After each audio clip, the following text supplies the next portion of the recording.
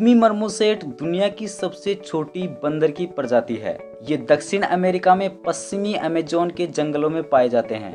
ये अधिकतर नदियों के किनारे वाले जंगलों में 20 मीटर से अधिक ऊंचाई के पेड़ों पर पाए जाते हैं।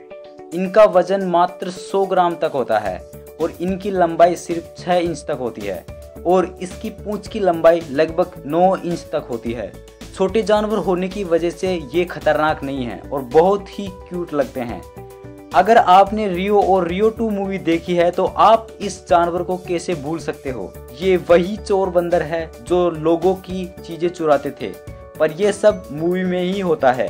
हकीकत में ऐसा नहीं होता है। हालाँकि बंदरों को दूसरों से चीज़ें छीनने में मज़ा आता है, पर बंदर चोर नहीं होते। पिग्मी मर्मोसेट बंदरों को लोग पालते भी है। इनकी कीमत लगभग एक हज़ार डॉलर से चार हज़ार डॉलर तक होती है। इन्हें पालना थोड़ा कठिन होता है। जंगलों में ये जैसे रहते हैं और जैसा खाते हैं, वैसे के वैसे ही इन्हें घरों में रखना होता है। नहीं तो ये बीमार होकर मर जाते हैं। ये झुंडों में रहते हैं और एक झुंड में लगभग पंद्रह बंदर तक होते हैं और इनके झुंडों में सिर्फ़ इनके परिवार के मेंबर होते हैं। मादाएँ साल में दो बार दो दो बच्चे पैदा करती है, जिनकी देखभाल पूरा झुंड मिलकर करता है। इनकी आबादी में थोड़ी बहुत कमी आई है, जिसका मुख्य कारण है इनके निवास स्थानों में कमी पालने के लिए इनको लोग पकड़ते हैं, जिससे जंगलों में ये कम होते जा रहे हैं। कभी कभी ऊँचे पेड़ों से गिर जाने के कारण भी ये मर जाते हैं। इनके बालों का रंग भूरा, सुनहरा, स्लेटी और काला होता है। ये पेड़ों की डालियों पर लगभग पाँच मीटर दूर से भी कूद सकते हैं। इनकी सबसे ज़्यादा आबादी ब्राज़ील, पेरू, कोलंबिया और इक्वाडोर के वर्षावनों में है। दूसरे बंदरों की तरह इनके पास नाखून नहीं होते हैं। इनके पास पंजे होते हैं, जो इन्हें पेड़ों पर चढ़ने में मदद करते हैं। ये अपनी गर्दन को 180 डिग्री तक घुमा सकते हैं। ये फूल, पत्ते और छोटे मोटे कीड़े मकोड़े खाना पसंद करते हैं।